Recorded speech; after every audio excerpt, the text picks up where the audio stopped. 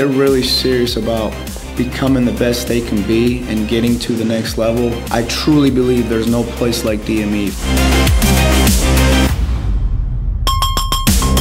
We're trying to create the chemistry within our teams. By creating the chemistry, our teams are successful as a group, but also our individuals. We have kids and we have staff from all over the world.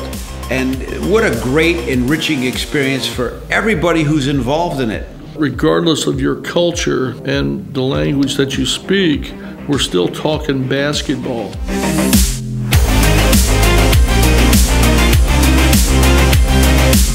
We got a great facility. We didn't want it to be too big, but I don't know if we've ever been in a better place, in a better environment to learn. I know myself, I tended to shoot better when I liked the shooting environment, and we try to create a great shooting environment. Our basketball equipment is available to them. So we're always making sure that one of our coaches is leading the charge to make sure that they're getting in the gym when they need to or when they want to.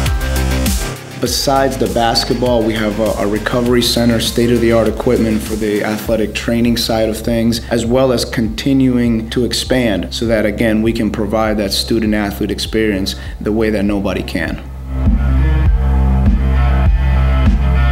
And we have people in place that come and warm the team up.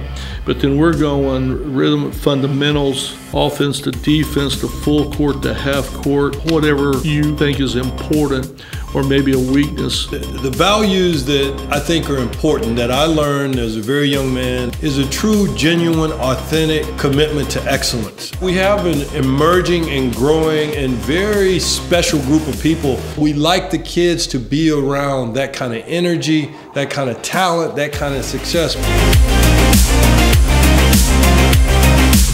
Let's look at what is the prize. What are they here for?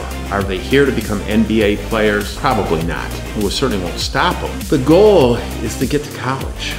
And it's not just about getting a scholarship because there's a lot of scholarships out there. The key is for our players to understand what it takes to play at the college level. College coaches love coming to Florida because it's loaded with talent and there's a ton of junior college prospects. And so we get to be that next stop in their recruiting, which gives us great exposure. So it is a combination of factors that makes up a player, and the coaches are aware of that, and players should be aware of it too. Because we are really professional, we love what we are doing, and everyone at the DME Sports Academy is gonna work for the player.